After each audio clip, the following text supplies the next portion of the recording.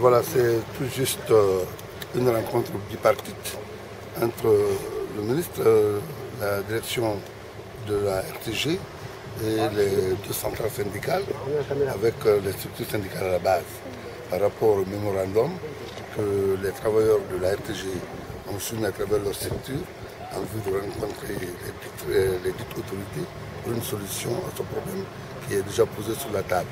Donc nous avons reçu des sages conseils de la haute autorité. Demain, il y a une assemblée générale qui est projetée pour faire la restitution de ce qui a prévalu autour de nos différentes euh, entrevues. Voilà ce qui a découlé de nos entretiens. Quelle a été sa réponse?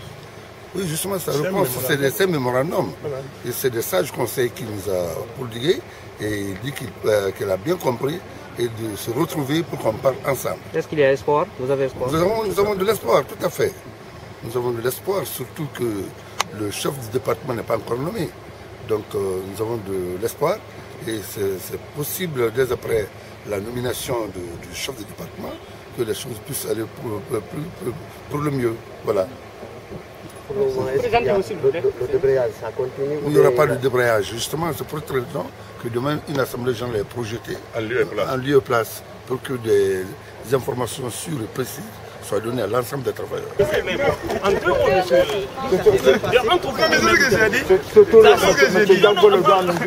Le dit, ça s'est très bien passé.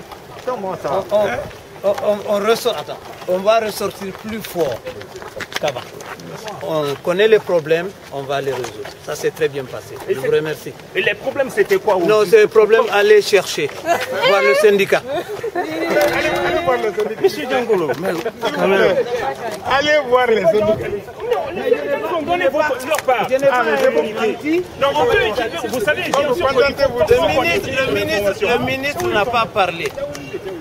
Voilà, ça s'est bien passé, monsieur.